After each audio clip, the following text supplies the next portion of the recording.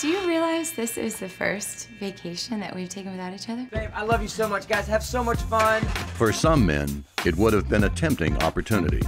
You got a Why? seven day pass, man. Let's hang out. No, no. Yeah, let's party. But Roger Wright had plenty on his plate already. Okay, I got a lot of great ideas. I they just need to be mixed. I got a listen scheduled for this Thursday. How do they expect me to get done on time if they keep giving me changes every day? The last thing he needed was his wife's yoga teacher in the guest house. He must be the old guru hippie yoga lady. Let's be careful with the labels. And then I'm a vegetarian. Of course you are. So much better for the planet. Make yourself at home, all right? I have got to go create.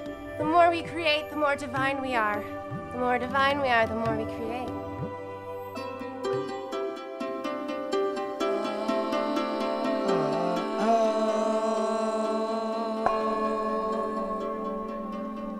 Hold a lot of stress here. Is that like your personal assistant or something? Forget about it. See no evil, hear no evil. Freddie, there's no evil to hear. I'm on my way over there. Sandy, no, don't, no.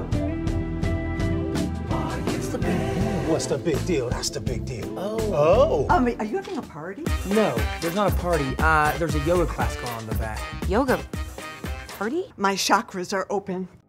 Finally, a movie that answers the question Can a man open his chakras and still keep his pants on?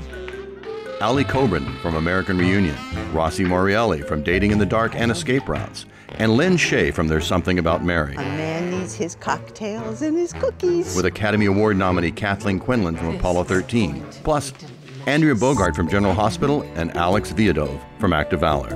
Is he okay in the manhood? Life's an Itch, in Hollywood's first ever chick flick made for guys. This is a vortex right here, my friend.